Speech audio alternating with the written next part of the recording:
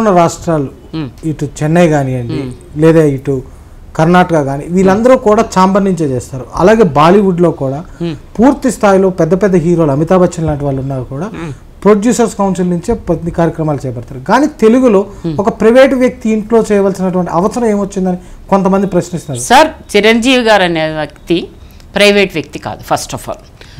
ఆయన మన film industry. ఆయన మెగాస్టార్. మెగాస్టార్ గారు ఇంట్లో చేయటం అనే దానికి మేమెవ్వరం దాంతో ఒప్పుకోవట్లేదు.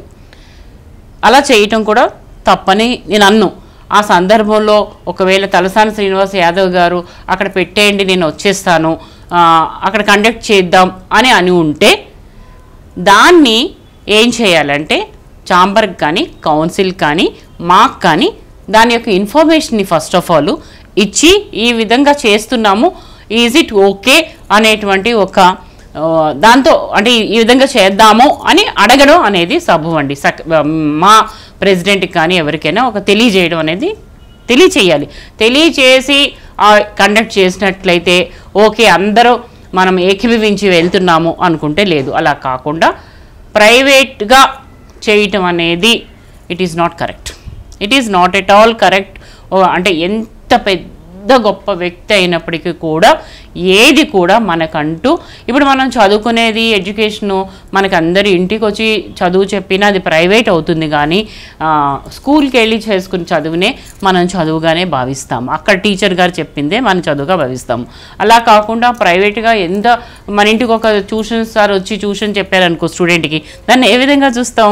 ట్యూషన్గానే చూస్తాం కానీ చదువు ఎడ్యుకేషన్ ఇన్స్టిట్యూషన్గా చూడం కదా.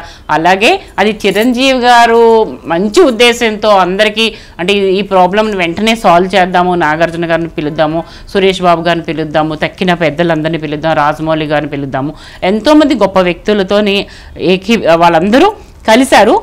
అలాంటప్పుడు బాలకృష్ణ గారు కూడా అందులో ఉండాలి. తప్పకుండా బాలకృష్ణ గారికి ఇన్ఫర్మేషన్ ఇచ్చి ఇన్వి ఇన్విటేషన్ అది అంటే ఇంకొక చోట ఎక్కడో మన పెళ్ళిక మనం పిలిచాము పెళ్ళికి పెళ్ళికి బొట్టి కాటికి పెట్టి పిలవాలా అట్లా మాట్లాడడం కూడా కరెక్ట్ కాదు.